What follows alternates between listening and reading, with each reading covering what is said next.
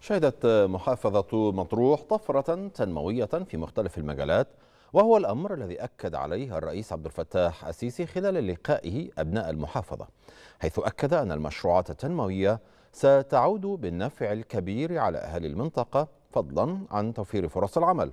هذا وأشاد جمال إدريس أحد عواقل مطروح بقيام الدولة بإقامة موانئ بمطروح. جاء ذلك في لقاء خاص للتلفزيون المصري على هامش الزيارة الرئاسية لمحافظة مطروح. النهارده في منطقة لوجستية هتقام هنا حول الجمرك افتتاح المنفذ السلوم البري مكان منفذ بس هيبقى جمرك عالمي على أعلى طرازات الخدمة والسرعة في الأداء. واللي تخدم ما بين مصر وشمال إفريقيا.